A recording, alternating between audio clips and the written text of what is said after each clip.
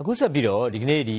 NLD အမျိုးသားဒီမိုကရေစီအဖွဲ့ချုပ်မှကျင်းပတဲ့သတင်းစာရှင်းလင်းပွဲအတွင်းဒေါအောင်ဆန်းစုကြည်ရဲ့ပြောကြားချက်တချို့ကိုတင်ပြကြပါမယ်။မြန်မာနိုင်ငံတွင်းအပြောင်းအလဲတွေနဲ့ပတ်သက်လို့အမေရိကန်အစိုးရဘက်ကလိုအပ်တာတဲ့ပိုပြီးအကောင်းမြင်လွန်းနေတယ်လို့မြင်တဲ့အကြောင်းဒေါအောင်ဆန်းစုကြည်ကဝေဖန်ပါတယ်။ပြီးခဲ့တဲ့နှစ်အတွင်းမြန်မာနိုင်ငံအတွင်းကပြည်ပြင်ပြောင်းလဲရေးလုပ်ငန်းတွေဟာတိသာထင်ရှားတဲ့တိုးတက်မှုမရှိဘူးဆိုပြီးတော့သူကပြောတာပါ။တစ်ချိန်တည်းမှာပဲသတင်းတော်ကိုပါကြီးတည်ဆုံတဲ့ကိစ္စဖွဲ့စည်းပုံပြင်ဆင်ရေးကိစ္စတွေကိုလည်းသတင်းစာရှင်းလင်းပွဲအတွင်းဒေါအောင်ဆန်းစုကြည်ကထည့်သွင်းပြောဆိုသွားပါတယ်။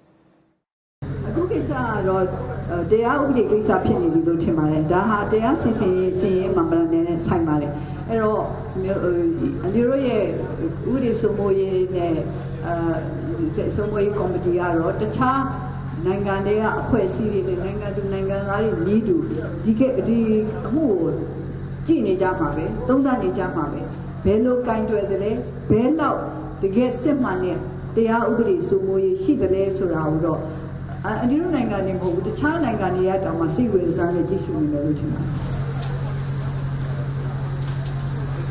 လွတ်တော်ဟာပြည်သူလူထုရဲ့ဆန္ဒကိုတကယ်ပဲလွတ်တော်ရဲ့ဆန္ဒဟာပြည်သူဆန္ဒဆိုရင်တော့ငါးသန်းသောပြည်သူများဟာမိမိတို့ရဲ့ဆန္ဒသဘောထားအရလက်မှတ်ထိုးပြီးတော့ထောက်ခံထားတဲ့ကိစ္စတခုလစ်လျူရှုမယ်ဆိုလို့ရှိရင်တော့လွတ်တော်ရဲ့ဆောင်ပုံးနဲ့ကိုက်ညီမှာမဟုတ်ဘူးလို့တော့ကျွန်တော်တို့ပြောရပါတယ် ဒီကနေ့သတင်းစာရှင်းလင်းပွဲတွင်ဒေါန်ဆန်းစုကြည်ရဲ့ပြောဆိုချက်